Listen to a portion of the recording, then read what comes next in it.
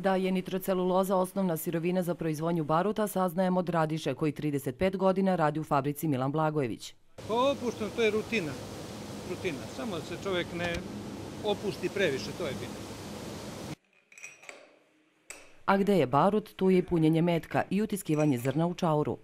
Ovo je, znači, zrno, odnosno projektil koji se koristi u snajperskim puškama naše vojske. Propisana brzina za ovaj metak je između 800 i 810 metara u sekundi.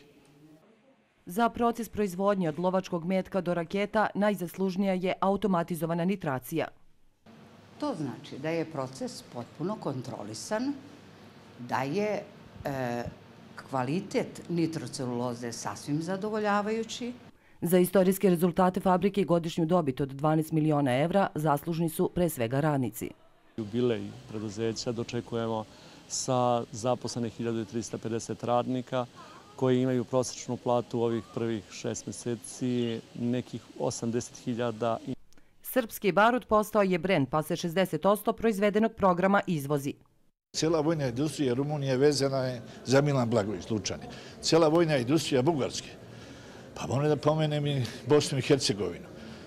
I idemo dalje. Sve zemlje Evropske unije, Austrija, Italija, cijela Evropa, Amerika, Afrika, sve su to zemlje koje su prepoznale kvalitet Koliko su radnici ove fabrike zaslužni za njen uspeh, govori činjenica da je svaki od 1350 radnika danas dobio 50.000 dinara, a svaki jubilarac na taj iznos 5.000 dinara po godini staža. Za dnevnik iz Lučana, Katarina Radulović.